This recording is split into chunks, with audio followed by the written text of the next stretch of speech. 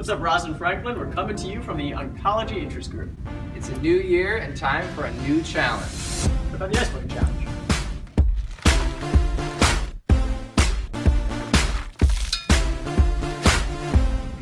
How about a rice bucket challenge?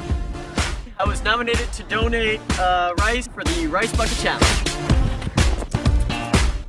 I don't know. I would prefer a